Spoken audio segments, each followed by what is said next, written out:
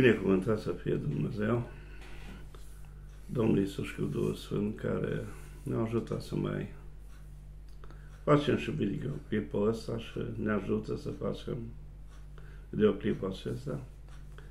Fraților, uh, eu rămân pe gânduri să vorbesc, să nu vorbesc despre Apocalipsa 6, pentru că nu sunt lucruri ușoare, nu sunt lucruri plăcute, dar uh, eu consider că trebuie să le cunoaștem datorită faptului că trebuie să ne apropiem de Dumnezeu pe cât posibil mai mult.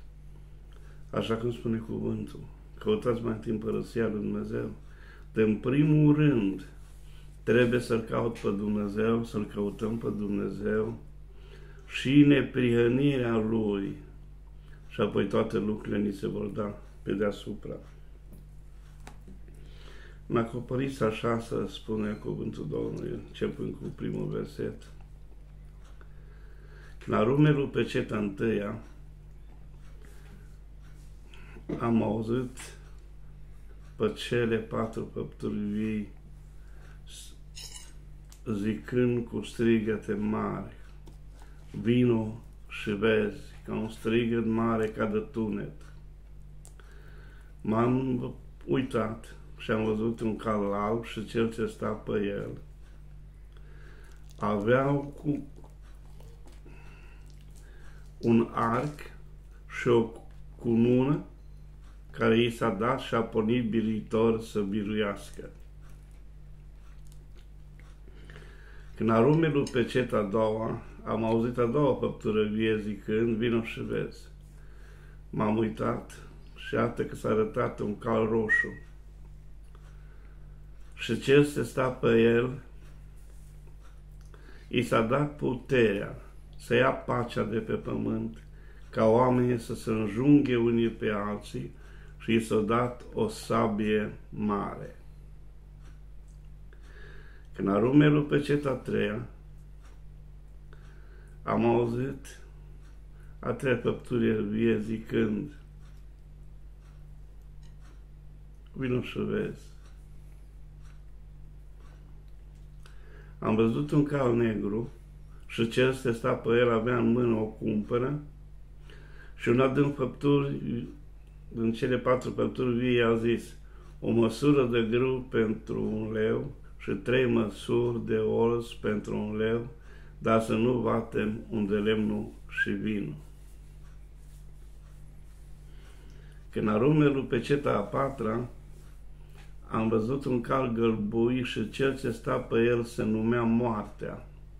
Și după ei venea locuința morților și i s-a dat puterea asupra pământului peste partea pat, pentru a patra parte a pământului să ucidă cu sabie, cu foamete, cu fiarele pământul și cu molimă. Când arumelul pe ceta cincea, am văzut sufletele celor care au fost junghiați sub altar și din pricina cuvântului Dumnezeu și din pricina mătruisirii pe care o ținuseră și ziceau cu glas tare, până când, stăpâne Doamne, Tu care ești drept, zăbovesc să răzbun sângele nostru asupra locuitorilor pământului. I s-a dat la toți o haină albă și li s-a spus să mai aștepte puțin până se va împlini numărul de plin dintre neamuri și atovarșilor lor care au să fie înjunghiați ca și ei. Când arumelul pe ceta a șasa s-a făcut o mare cutremur de pământ. Soarele s-a făcut ca un, un sac de păr negru luna s-a făcut toate ca sângele, stelele au căzut jos pe pământ, în tocmai cum caz mochinile vezi când sunt bătute de un vânt puternic, pământul s-a făcut sul, ostravele și râurile și munții s-au mutat de la locul lor. Împărații, cei puternici, capitanii oștilor, rob și roabe, au fugit la peșteri, la munți și la stâng și ziceau, cădeți peste noi și ascundeți-ne de fața celui ce stă pe scaunul de domnie și a merului, că a venit ziua mâniei lui și cine poate să stea în picioare. Iubiților, îmi pare rău că trebuie să vorbesc aceste lucruri. Îmi pare rău că n-aș vrea să vă sperii cumva. Și îmi cer scuze dacă n-am prezentat chiar în totalitate așa cum noi este scris, dar esența am spus eu. Acum aș vrea să intrăm în tălmăcire acestor patru cai. Calul alb reprezintă un sol al lui Dumnezeu puternic, trimis de Dumnezeu. Uh, și motoarele să măsoară în cai putere. Deci, prin urmare, calul alb reprezintă un sol trimis de Dumnezeu, de la Dumnezeu, și i s-a dat o cunună și a pornit biruitor să biruiască. Avea în mână un arc, arcul reprezintă o armă, o armă puternică, o armă puternică de precizie, foarte precisă, la modul spiritual. Apoi, când a numerul pe ceta a doua, am văzut un cal roșu, care i s-a dat puterea să ia pacea de pe pământ, ca oamenii să se înjunghe unii pe alții și i s-a dat o sabie mare. Sabia mare reprezintă o stăpânire mare peste fața pământului și i s-a dat o putere ca să ia pacea de pe pământ, adică ca oamenii să se înjunghe unii pe alții să nu mai fie stăpân oamenii pe ei, ce va intra o tulburare mare în, în lume, practic, pentru că nu se referă la o, la o țară. Când zice că să ia pacea de pe pământ, înseamnă că peste trec pământul. Și acum, dacă eu vă spune ce cred eu, ce înseamnă ca ăștia și pe cine reprezintă, mi cumva frică să nu strânesc anumite comentarii negative.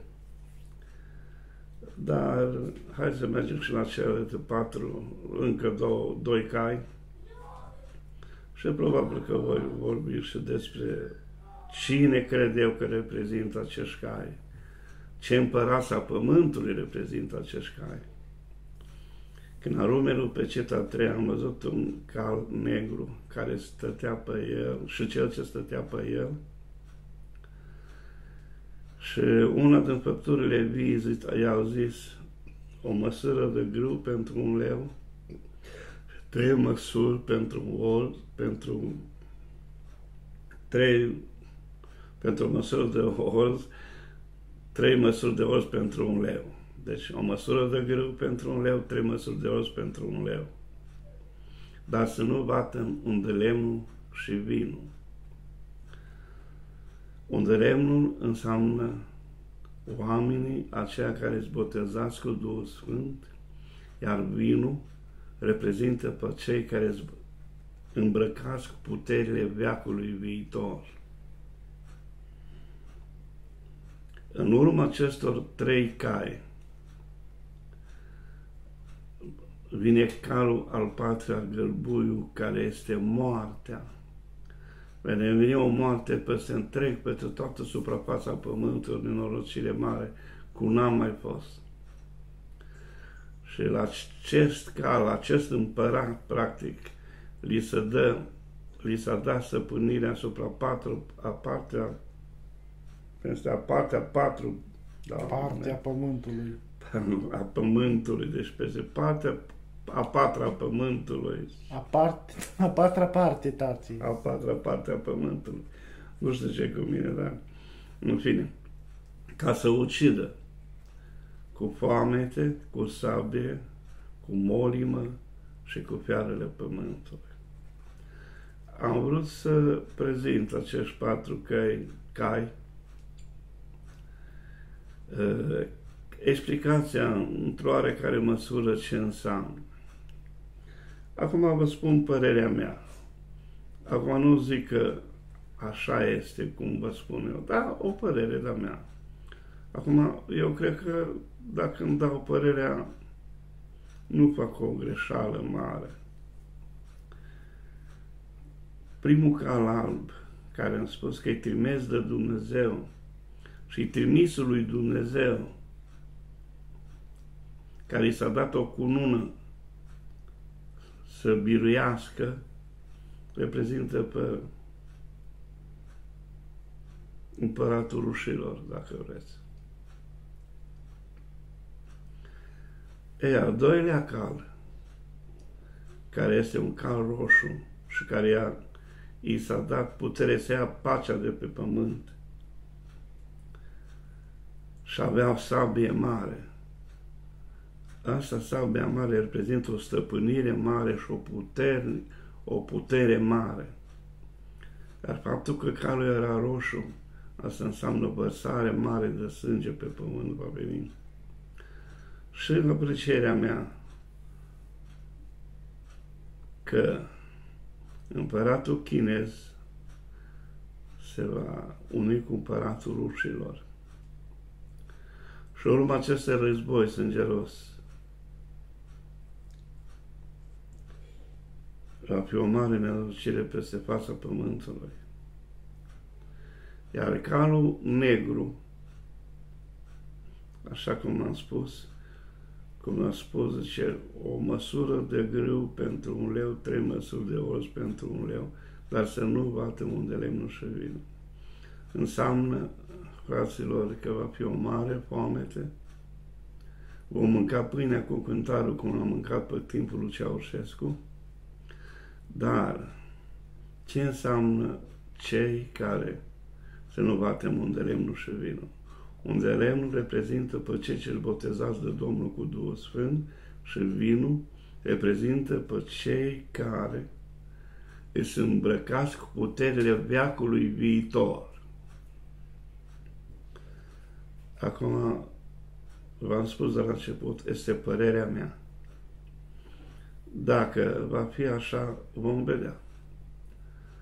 Să dea Dumnezeu să greșesc eu, să nu fie să fie pace, să fie liniște, dar cred că marea dumneavoastră parte dintre poporul Dumnezeu care studiați Biblia și care vă ocupați cu ea, vă dați seama că e, e timpul sfârșitului. Uh, deci, cam atât a fost de explicat, am să nu se explic pentru că semnificația acestor cai și semnele și tot ce am explicat până la calul al patrulea, ă, nu îi la îndemână oricum să le explice, pentru că nu cunosc semnificația acestor lucruri, de exemplu cum e calul alb, că e putere de la Dumnezeu, cum e sabia, cum e arcul și așa mai departe cu măsura de trei măsuri de os pentru un leu și o măsură de grâu pentru un leu, dar să nu bate unde lemnul și vinul. Deci ăștia sunt ocrotiți de Dumnezeu, unde lemnul și vinul. Și de aia Dumnezeu să fim ocrotiți de El, să nu ne atingă nimic, fraților. Pentru că așa am ajuns timpurile astea. Vai de cel ce nu vrea să se pocăiască. Vai de cel ce caută lumea și lucrurile lumii mai întâi și, noi, și nu ne prieni la Dumnezeu. După cum ne învață cu Sfântul Cuvânt, să căutăm mai întâi neprienirea Dumnezeu și, și împărăția lui Dumnezeu și neprienirea lui și atunci toate lucrurile se vor da pe deasupra. Dacă am supărat pe cineva, dacă n-am fost eu pregătit, fraților, să Copilul meu, dat și anul sus, hai tati să vorbești din Apocalipsa.